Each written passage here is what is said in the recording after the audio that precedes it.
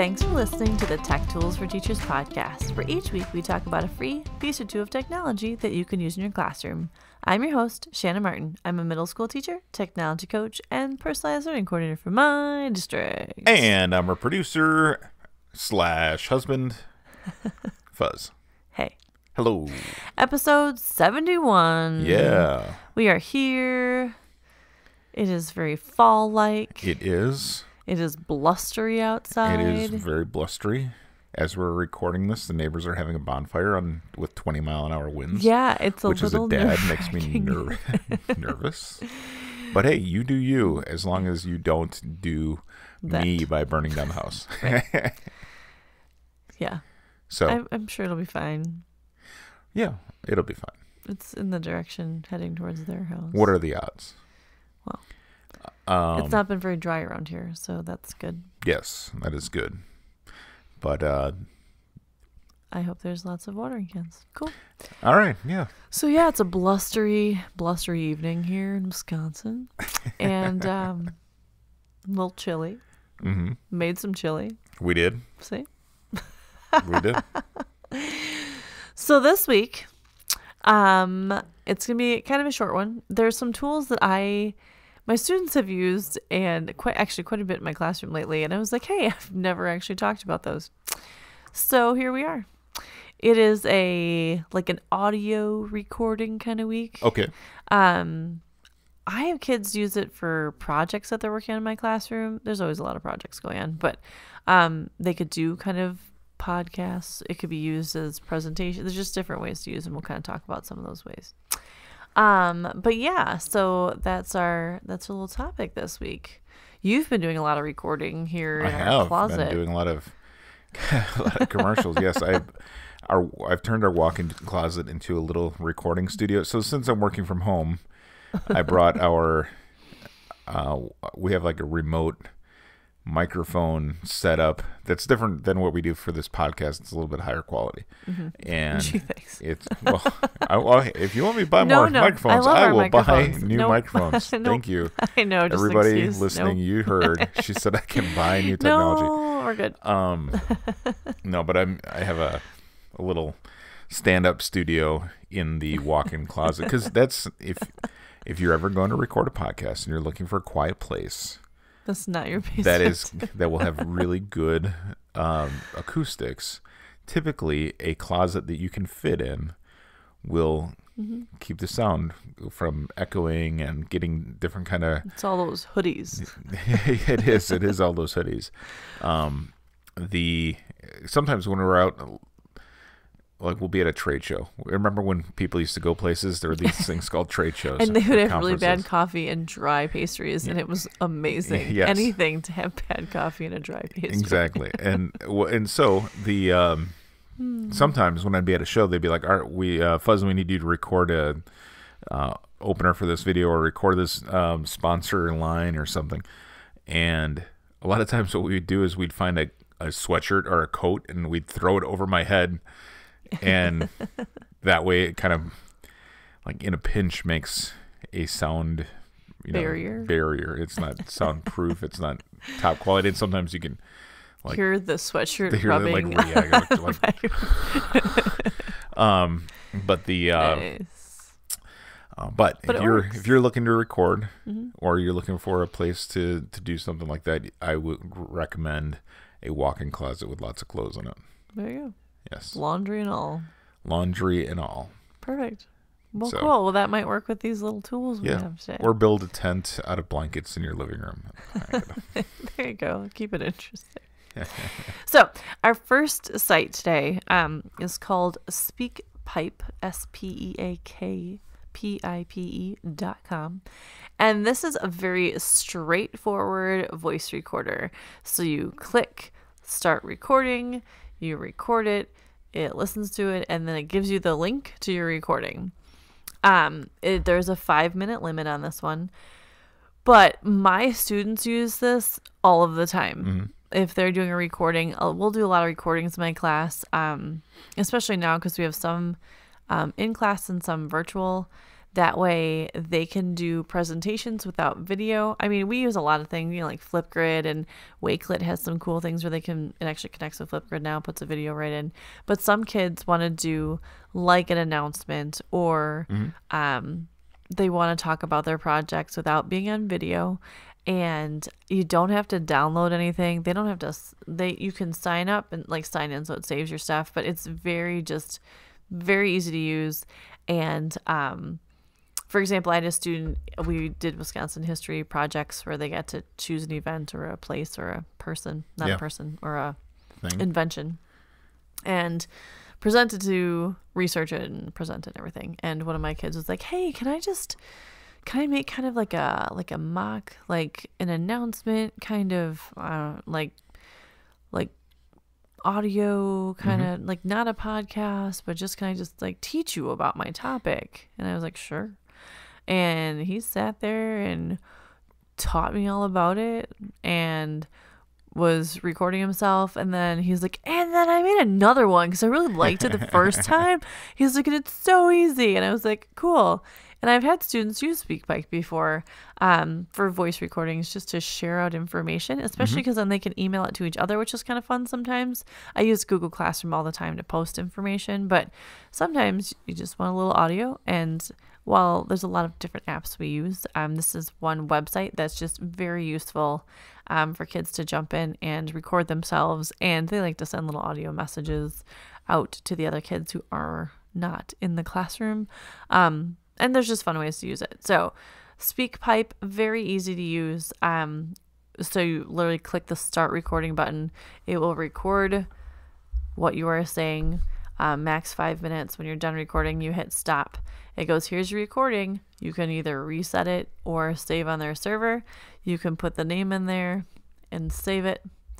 Um, and then boom, it's like saved to their little server.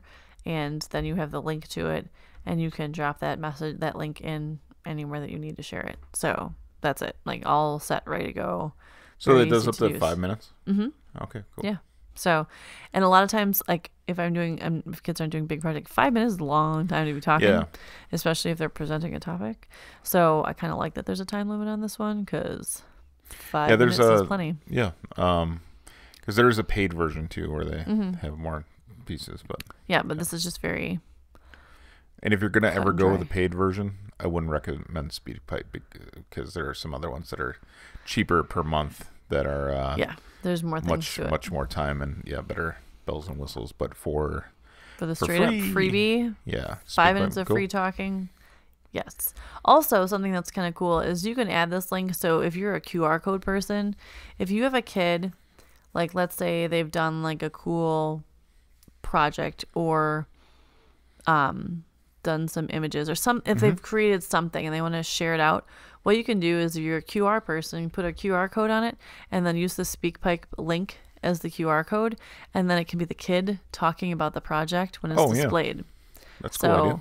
not that we have visitors coming into our schools at all right now, Oh, but we've in the past done it where there's like a QR code and then you can pull it up and then the kid is the student is describing their project that's on the wall Yeah, and then you get the whole background of it, which is kind of cool. Mm, so, there's lots of ways that you can use SpeakPipe because again, it's this version of the free version. 5 minutes you never you know, use Yeah. that much talking. But yeah.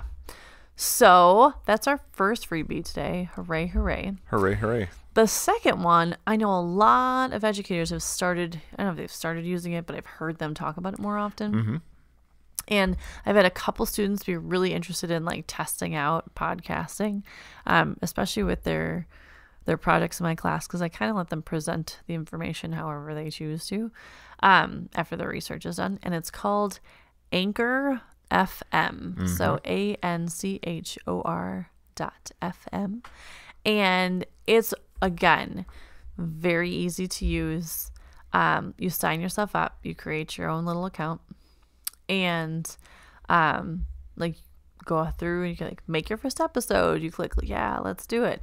You can record straight onto the computer. Um, when you're done recording, you can go through, um, and then they have like your little library. So all your little recordings are kept in your library. It also connects to your Spotify account. So if you want to add music into your podcast or your recording, you can add music into there.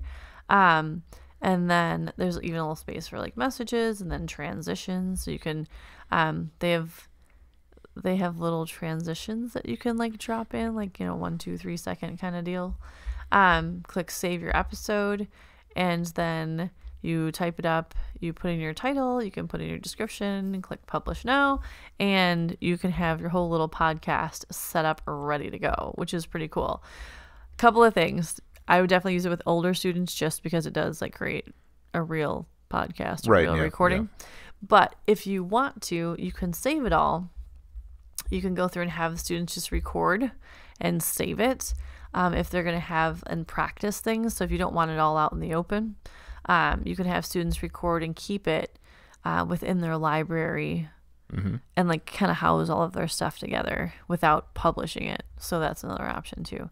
Um, but it's cool. There's just there's so many ways that kids can record. They can create podcasts about things they're interested in. They can find, you know, students to connect to. They can create, you know, different issues they want to discuss, and and you can distribute it. You don't have to.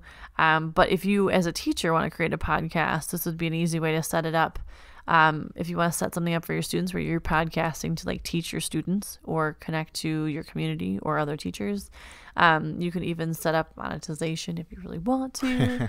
um, so it's cool. It reminds me, uh, well, it's, it's pretty close to uh, Spreaker in terms of, Mm-hmm. uh, but it looks like it actually has some um, more features that you can do to make your um, uh, podcast content creation a little bit better than some of the other tools on on Spreaker. So they have, uh, to me this one's just very it's very user friendly like Mm-hmm. the way the layout of it is very like click here do Yeah. here you're not hunting for stuff it just and you can do uh, blocks of audio segments and click and drag them around with their episode builder. It looks, uh, uh, actually, now that I'm looking at it, I'm kind of considering switching my other uh, podcast over to this because it's free. Um, but they also have transcriptions, which is cool. yes it's very important yeah So, uh, really neat. Anchor.fm. yeah Wow. there you go fm we're on Oh, I mean, I've heard of. Anchor before. I just had never played around with it until this wonderful podcast. Look told me to. see And I happened to be on the podcast at the time that I heard it. and we've played around with it i've just never talked about it which is kind of funny i forget like i i have this like long list of things i talk about on the Mm-hmm. podcast and then i have stuff that i do in my classroom and sometimes i'm like oh hey we've been using that for a while now Yeah. never actually talked about it but hey we should share it with others Yeah. so yeah so just a few little audio things this week but i know the kids are my students at least are finding other ways to connect um, some of them get a little burnt out from being on video. Um, So it's another way for them to share information and you can hear their voices um, and just another way for them to create and share information, which to me is very important. Yeah. Well, I can't wait till uh, this podcast is over because I'm going to go buy those new microphones. yeah, I don't think so. Mm, no. Nice try though. oh, Good luck with that. Thanks for tuning in. This has been the Tech Tools for Teachers podcast. If you ever have any questions, you can find me on Twitter at SmartinWI. And if you want to get more information on the links to the technology discussed in this episode, visit smartinwi.com or join us on Facebook. New episodes each week. Thanks for listening. Go educate and innovate. The ideas and opinions expressed in this podcast and the SmartinWI website are those of the author, Shanna Martin, and not of her employer. Prior to using any of the technologies discussed in this podcast, please consult with your employer regulations. This podcast offers no guarantee that the tools we've discussed will work for you as we've described, but we hope they do. And we'll talk to you again soon on the Tech Tools for Teachers podcast.